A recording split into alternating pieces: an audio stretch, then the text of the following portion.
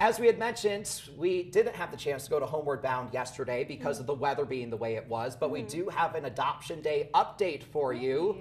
Some good news pertaining to Gray here Oh. and also George Costanza. If you remember back to a ah. couple of weeks ago, these fun named guinea pigs from Homeward Bound were looking for He's their wearing forever homes. Mm-hmm. Right? The And calico coloring is Yes, just so, cool. cute. Oh my gosh. And after reaching out to Homeward Bound asking for an update, they sent along these cute as ever adoption day photos. The whole mm-hmm. family involved there, from the littlest of the bunch to the oldest of the group, all enjoying the adoption day festivities. In gray, there have never seen a guinea pig that floofy before, but so glad that Gray and George Costanza can almost not say it, can almost not laugh without saying that. But mm-hmm.